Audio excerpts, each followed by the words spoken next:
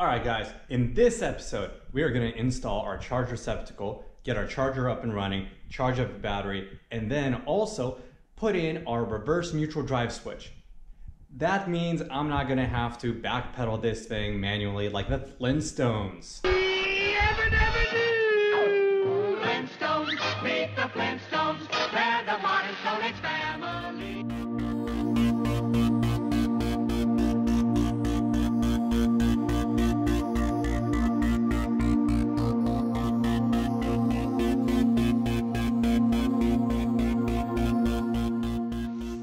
I wanna show you guys what we're gonna be using. So this is a Nutrix, Nutrix, Nutrix? Nutrix connector. It is a, uh, these are rated for 30 amps, and that just happens to be what our charging amperage is from our charger. So we have this guy, and then on our male end, we have this guy. So it just goes in, you turn it, and it locks in position. So we're gonna take, get our female end. It's gonna go right in this port right here. I'm just gonna have this right here. Gonna come in, and boom, charging. All right, let's get to it.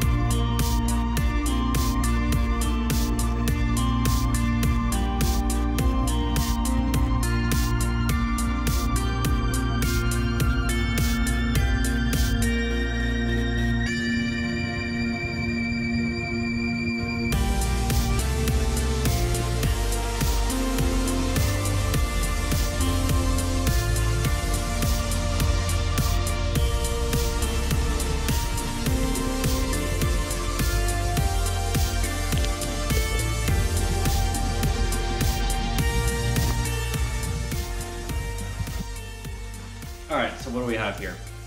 We have our charger. Right now it's got an Anderson connector on here. So we'll go ahead and get that swapped out for our Nutra connector. And then we're not gonna be using the CAN system since we have uh, a way to switch the battery from the remote.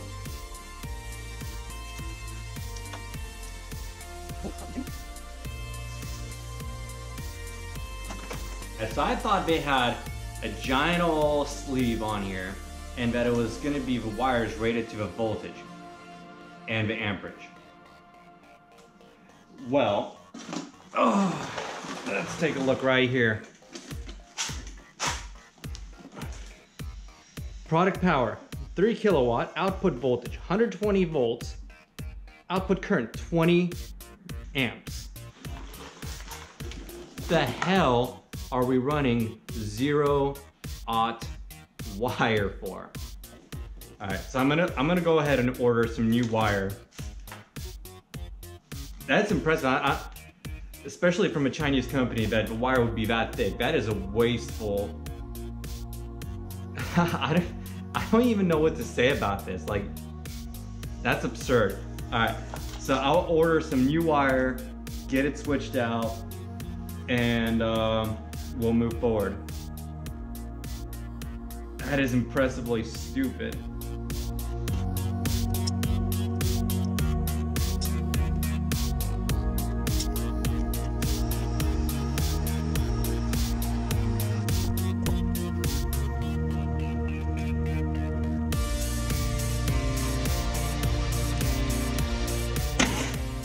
Alright, some new cable came in. And all it is is a welder extension cord. Uh, 30 amp cable, so it's a 10 gauge, just the, the same as the rest of the charging stuff. Um, we're only going to be charging at 20 amps, so a 30 amp cable, plenty.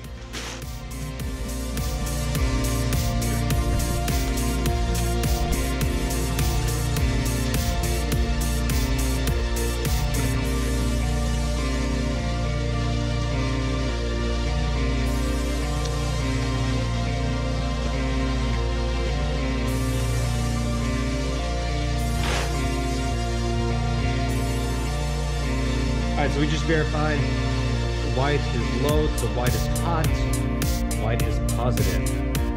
Then our black is gonna be negative.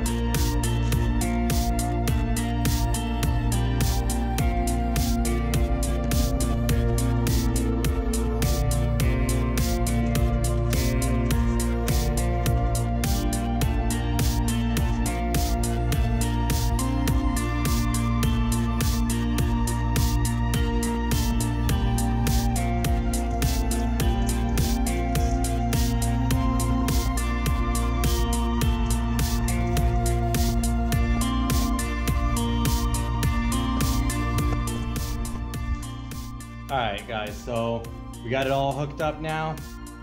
I have the BMS turned on. See right there. And then reading our battery voltage right in here. I'm gonna hit start.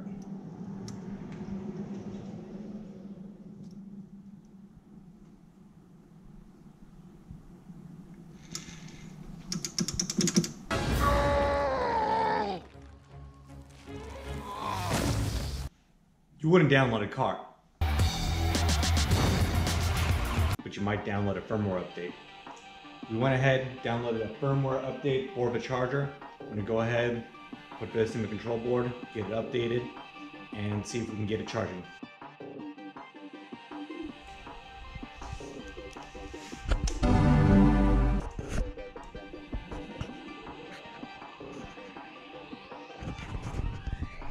There we have it.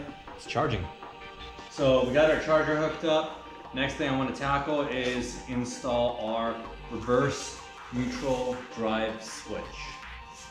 And for that, you need a mounting place for it. I mean, I could just have it dangling here for now, but I'd rather just mount it up.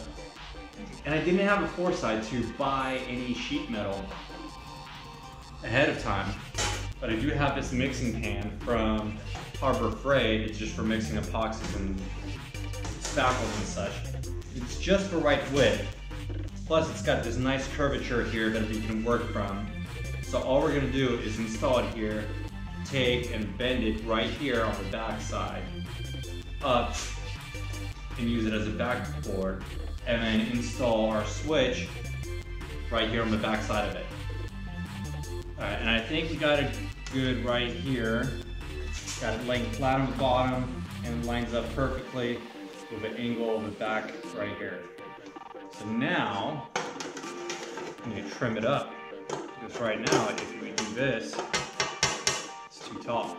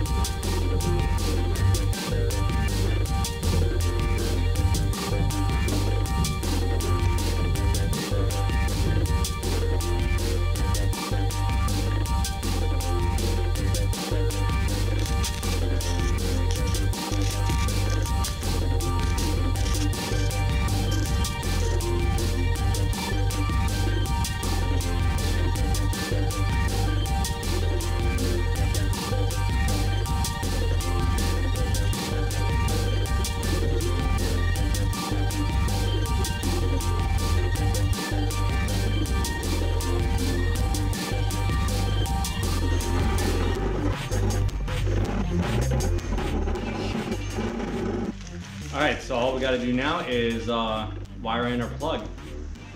Yeah, so the wiring diagram for this is not worth a damn. that's supposedly the pin outs and the outputs, and it just ain't so. So we're gonna mark it up on here, and uh, yeah.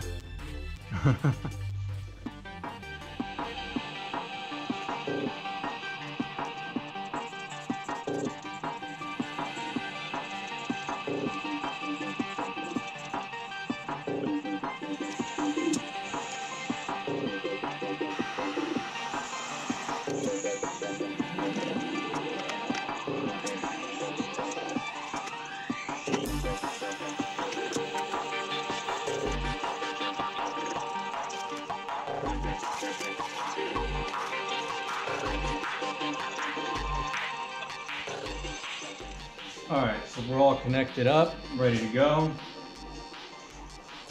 Turn this on.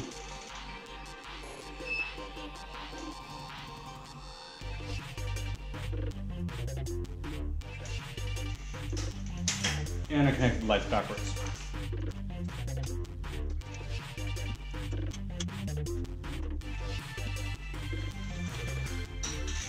All right. Now we have our light. There we go. Funny thing, those LEDs, right? There we go. Alright, so now we need to add our three gear switch. You click on it down here below, it says this zero disabled one enabled if enabled three gear with forward, reverse, neutral, if disabled, no neutral. Anyway, so that should be good. So now we're gonna write. After clicking this, we gotta go to back to the three speed switch. So normally, this would be neutral, low, or high. Except when you turn this on, if you want neutral, you also gotta turn this guy to one. That's just kind of peculiar, but check this one more time. Make sure everything's stuck. Neutral. Dead pedal, no humming from a motor. Drive. Goes forward and drive. And then reverse. Goes in reverse. Sweet. Alright, so now we have a charger done, we have a switch done, and next episode we'll keep working on electronics. I'm gonna try to CAD up some models to get our lights mounted up for front and rear. Uh, so hopefully that's the next thing we're gonna tackle. Catch you guys on the next episode.